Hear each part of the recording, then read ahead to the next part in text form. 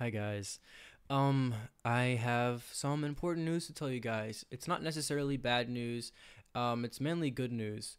What I'm going to be doing is I'm going to be taking a 3-day hiatus um to kind of give myself time to get my sleep schedule back in check, my mental health. It has been deteriorating. I have been streaming for 3 weeks straight uploading. Not only have I been streaming for about an hour to 2 hours at most, I have also been editing videos at these crazy hours trying to get some of these videos out.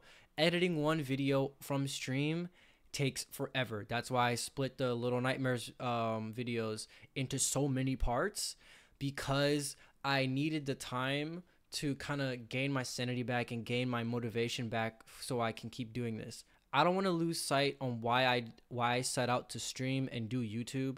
There's really no point of that. And um I I'm just gonna let you guys know I'm gonna come back better. You have my word.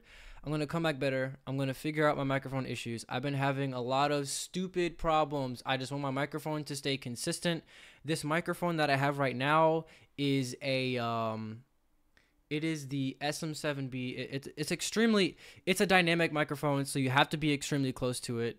Um, I might also actually switch this microphone and use my Blue Yeti because that one's more condensed and it already has like certain things on there that can fix up the audio and I wouldn't really have to do much on there. It's a lot easier to edit that one. This one is usually used for like podcasts and stuff like that. So if I'm closer to the microphone, it sounds better. But that's that's besides the point.